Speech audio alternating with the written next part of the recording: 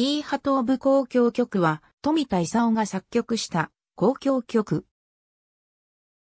宮沢賢治の文学作品を題材としている。管弦楽と合唱のほか、ボーカロイドの初音ミクをソリストとして起用している。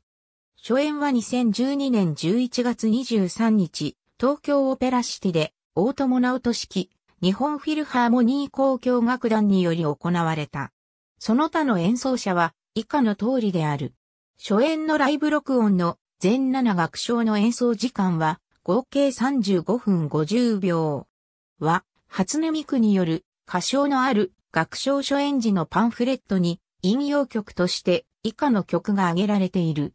初演のライブ録音のアルバムが日本コロンビアから2013年1月23日にコック -62 ハイブリッド CD として発売されている。イーハトーブ交響曲のほか、アンコールの2曲、リボンの騎士、青い地球は誰のものも収録されている。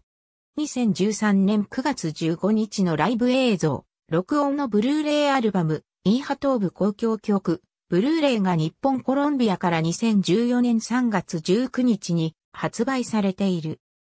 2021年3月31日に初演ライブの録音を LP レコード2枚組にしたものが日本コロンビアから発売される。ありがとうございます。